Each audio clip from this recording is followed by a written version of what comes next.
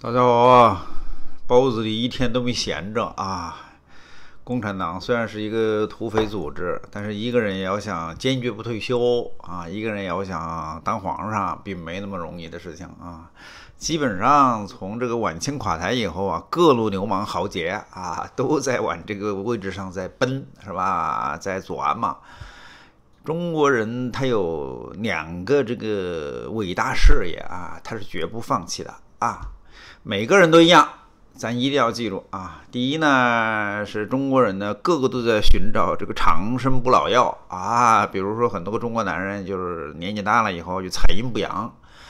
一个七八十岁的老头儿找一十八岁的姑娘，是吧？干嘛呀？你以为他真的忙得过来吗？你你以为他真的行吗？他采阴补阳，知道吧？希望延年益寿，多活几年。这是一般的这个中国男人都有这个人生梦想啊，伟大事业之一啊，采阴补阳事业是吧？习主席也搞这个事情，习主席睡的姑娘上越来越年轻，为什么呀？你以为你以为他想干嘛？你以为他真的有那么好的欲望吗？人过了四十八岁，欲望就不行了啊！你吃伟哥也没用啊！你还不如老实点，天天跟自己的媳妇儿在一起，是不是抱着睡觉？是不是安慰安慰就行了？是不是越看越好看自己的老婆？是不是？哎呀，第二个中国人的伟大事业就是人人都想当皇上，哎，但是呢，架不住你一时的车能是滚滚向前啊！晚清慈禧太后把中国的最后一任皇帝就给折腾了，给搞没了，是不是？从此以后，每一个中国人想当皇帝而不得，但是呢，每一个人都想往上面拱。啊，日拱一卒一卒啊，有日拱一卒啊，不期速成也。所以你你想想那个时候的那个蒋介石、孙中山想当皇帝，结果呢想采阴补阳是吧？结果五十多岁就嗝屁了。他的确是采阴补阳，一把年纪了，比宋庆龄的爹还大。哎，但是呢把宋庆龄娶为娇妻。宋庆龄，你想想，她那么那么这个肉滚滚的这么一个女的，你孙中山就这么点小短腿儿，一点小个子，你你没采阴补阳，你肯定没有采阴补阳。我告诉你，你精尽人亡那是真的。孙中山要是不娶宋美龄，不娶这么一个这个肉滚滚的尤物，还估计多活几年。你本来肝脏就不好，你还一天到晚扑腾，你应该要。应该要养精蓄锐，知道吧？应该要调理自己，不要搞这些个事情。结果呢，架不住啊，欲火攻心，娶了这么一个你浑身都是肉的这么一个女孩，那怎么行啊？是孙中山呢，当想当皇上，死了就死了呗，人都要死的，不行，得把他的尸体要要要要要把他要要要要要拱成一个木乃伊，搞一个水晶棺，是吧？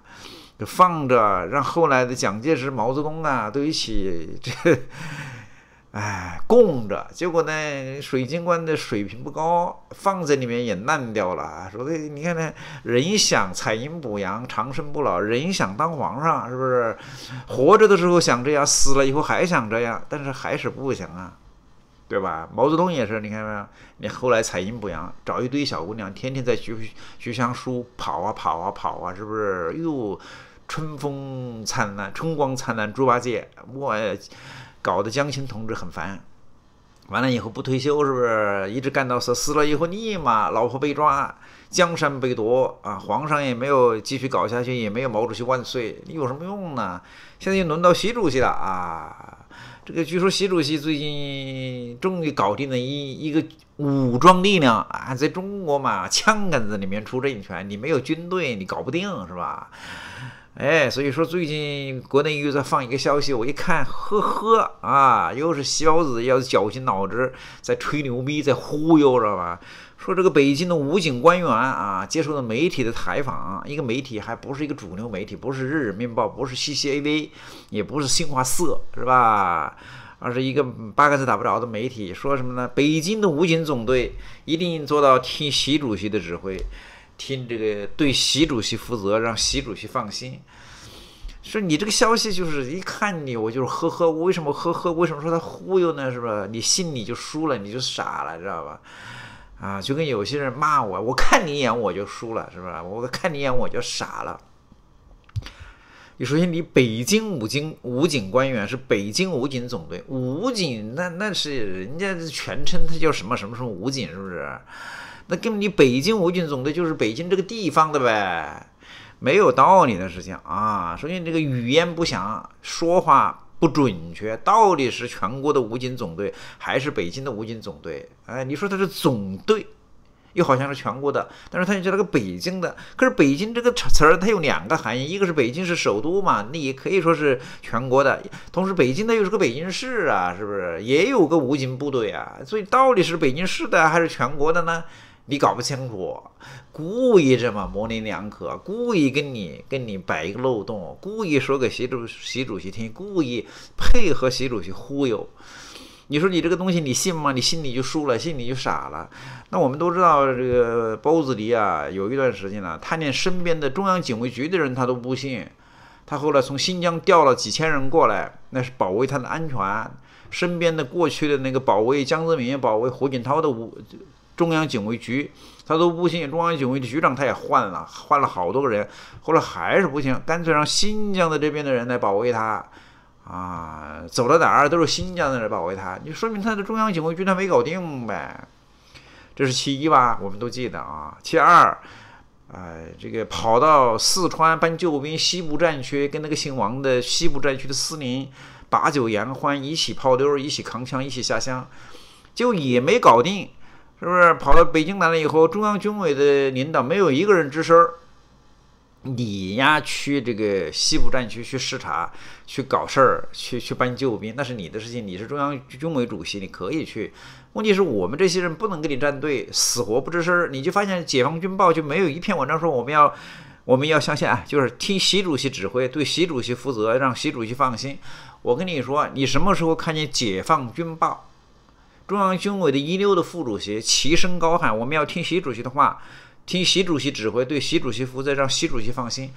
那基本上习主席真的就把部队搞定了。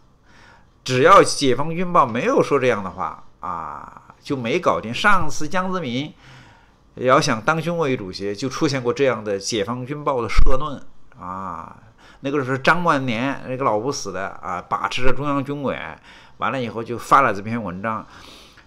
听江主席指挥，对江主席负责，让江主席放心啊！你这个时候胡锦涛，你你你你不听话，不听话就就把你给废了，是不是？那没办法的事情啊！到现在为止，到目前为止啊，我们可以肯定的说，习主席没有搞定军队，包子里没有搞定军队，所以一计不成嘛，又生一计嘛。你说你的中央警卫局也没搞定，是不是？然后你的那个什么啊，中央军委你也没搞定，对吧？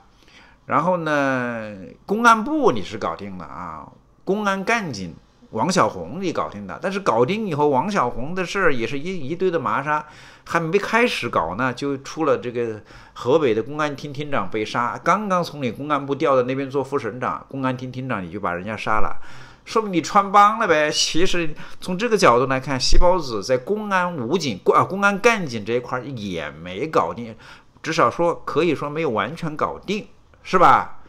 嗯，这个道理很简单的。那你接下来靠谁呢？政法系统其实也是一个武警的，也是一个武装力量啊，因为他们都配枪嘛。如果你把中国的公检法，尤其是法院系统，法院系统如果能搞定的话，也是一支强大的力量，是吧？那没搞定，为什么呀？整个是。司法系统延安整风，把人都得罪完了。这些年抓的最多的就是法院的院长、公安局的局长。所以为什么包子的公安局和这个法院他搞不定呢？检察院他搞不定的，公检法他都搞不定。为什么他得罪人太多了？恨死他！谁他妈跟他卖命呢？没有人。总不至总你总不至于这会儿就只有两种力量啊！我一直其实在关注的一个就是武警，武警总队。哎，这个东西一直没提，对吧？第二个就是还有一个武装力量啊，就是狗推子是吧？伪军叫什么城管？你总不可能靠城管吧？是不是？城管也有枪的啊，总不可能靠城管吧？最后就武警，武警部队，武警部队到底是支不支持他呢？那我们都知道，武警部队以前的这个王啊是谁啊？是周永康。周永康当时想策划一场政变，想把胡锦涛和温家宝抓起来。动用的就是武警部队，他动不了军队。后来这个胡锦涛是调了保定的野战军，直接把武警总队的那帮孙子就给抓起来了。哎，有这么一出戏，大家都知道是吧？都听说过至少。所以你这会儿说武警总队呀，听习主席的指挥，对习主席负责，让习主席放心。所以我说了吧，你如果相信他这句话，你就呵呵了啊，你就傻了是吧？你就傻了，你就你就输了。所以不要听他的，他这些就是最后一次忽悠啊！我我我觉着啊，最后一次忽悠，你没有武装力量在你的手上，你没有那么牛逼。你要想把军队搞定，那是很麻烦的一件事情。你必须要有足够的影响力、足够的威信。为什么邓小平能搞定军队？那当然了，人家是开国元勋之一，是不是？虽然是个土匪国，那人家也是开国元勋。小平同志一说就地位很高，是吧？这个东西有威信的。完了以后，江泽民为什么能把军队搞定？因为江泽民在的时候就闷声发大财呀。军队那帮孙子赚钱赚肿了，要说你说那个时候军队的那帮军头一个个的都是财阴补阳，对吧？一个个都是是这一个个的都以为自己长生不老。那江主席也是财阴不阳啊，是不是？你说跟我们宋祖英，宋祖英虽然不是个小姑娘，那好好觉着也是啊，身材比例不错的是吧？歌儿又唱的甜美，听一听人都馊了，你说对吧？所以你想想，他们的价值观、他们的爱好，都都合着是产生了伟大的中国特色特别色的社会主义共鸣。对，所以军队支持习主席多好啊，是不是？习主席领导我们的军队，我们继续可以当官发财死老婆，继续可以财阴不扬，继续可以这个长生不老，多好啊！他有个共同的价值观，你细胞子今天没有，细胞子你就是我要坚持共产党领导，我要宁愿要社会主义的草。不要资本主义的苗，啊，发展经济如果把共产党搞没了，那要发展经济干嘛？结果就开倒车回头路。中国的老百姓也好，军军头也好，共产党的高级干部也好，个个都适应了当官发财死老婆的这个光辉岁月。真的，他们一下子让他赚不了钱，让他日子不好过，他嘴巴上不跟你反。他也没有必要，因为不敢当这个出头鸟嘛，怕你整他嘛。但是私底下肯定是不支持你的。细胞子，我可以肯定的告诉你，他要当皇上，他要连任，没有丝毫的民意。所以我们看到说，北京武警官员对媒体说啊，北京武警总队一定要做，听习主席的话，是不是？听习主席指挥，让习主席放心。基本上，我认为这是他最后一次忽悠，啊，绝对是最后一次忽悠。你再也没有人了嘛？啊，如果他还忽悠的话，就说。啊，城管的总队，城管的总队，是不是说请习主席放心，我们一直支持习主席连任？你不觉得就是意意笑大方了吗？谢谢。